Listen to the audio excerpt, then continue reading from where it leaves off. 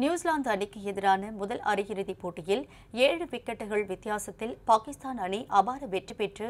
இறுதிப் போட்டிற்கு முன்னேறியது இன்று இந்தியா இங்கிலாந்து அணிகளுக்கு இடையிலான அரையிறுதியில் எந்த அணி வெற்றி பெறுமோ என்ற அந்த அணியுடன் பாகிஸ்தான் இறுதிப் போட்டியில் மோதும் ஆஸ்திரேலியாவில் நடந்து வரும் எட்டாவது டி டுவெண்டி ஓவர் உலகக்கோப்பை கிரிக்கெட்டை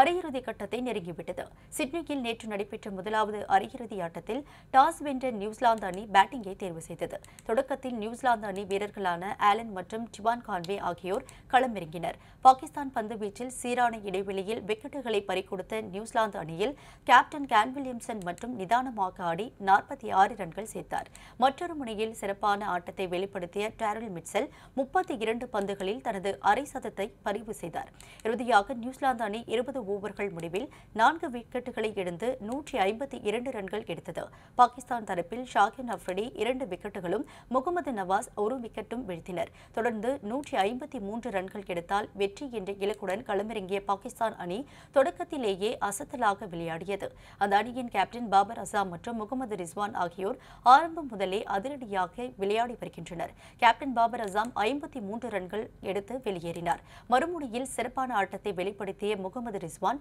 முப்பத்தி ஆறு பந்துகளில் தனது அரை சதத்தை அடித்தார் நல்ல தொடக்கம் அமைந்ததால் எந்தவித நெருக்கடியும் இன்றி பாகிஸ்தான் மூன்று விக்கெட்டுகளை மட்டுமே இழந்து நூற்றி ஐம்பத்தி மூன்று ரன்கள் எடுத்து வெற்றி பெற்றது இதன் மூலம் பாகிஸ்தான் அணி இறுதிப் போட்டிக்கு முன்னேறியது இன்று இந்தியா இங்கிலாந்து அணிகளுக்கு இடையில் இடையிலான அரையிறுதியில் எந்த அணி வெற்றி பெறுமோ அந்த அணியுடன் பாகிஸ்தான் இறுதிப் போட்டியில் மோதும் இதனால் இன்று நடைபெறும் இந்தியா இங்கிலாந்து அணிகளுக்கு இடையிலான போட்டி பெரும் எதிர்பார்ப்பை ஏற்படுத்தியுள்ளது